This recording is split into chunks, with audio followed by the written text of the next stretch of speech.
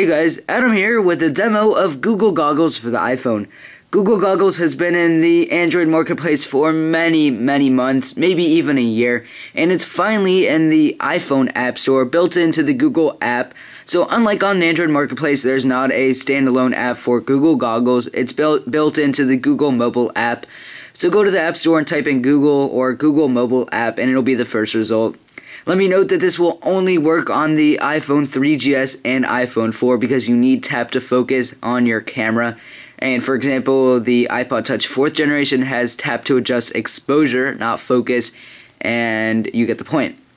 So anyways, this is the Google app right here. I'm sure a lot of you are familiar with the app. But what's new is the Google Goggles feature, which is right there if you click on that camera. Real quick, let me go over the tutorial in case some of you are not familiar with Google Goggles. Essentially, Google Goggles is a way that you can use pictures to search the web. And what and what that means is you take a picture with the camera on your phone and it, and Google's app will match up the picture to another image on Google and it'll tell you what it is. So anyways, next slide is try taking pictures of books and DVDs, landmarks, logos, contact info, artwork, businesses, products, barcodes, and text. And of course, other stuff, including using Google Goggles to translate text. Anyways, back to the actual application. What you do is click that little camera right there, and it will open up this camera app. And as an example, I do have the iPhone box because it does have the Apple logo. Just as an example, uh, you can simply click onto here to focus the picture and take it like that.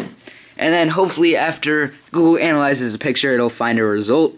And there we go, Apple iLife 09. Every single time I've done this test, it's come up with a different Apple product. Apple iPad, I Apple iPod, Apple iTunes, Apple iLife. So, you know, you get the point there. It's the Apple logo. You can click on that and it'll search on Google Apple iLife 09 and it will come up with a picture right on the top there and it will come up with the Google search.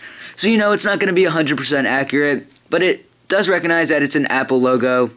But there we go guys, that is a demo of Google Goggles for the iPhone. Thanks all for watching.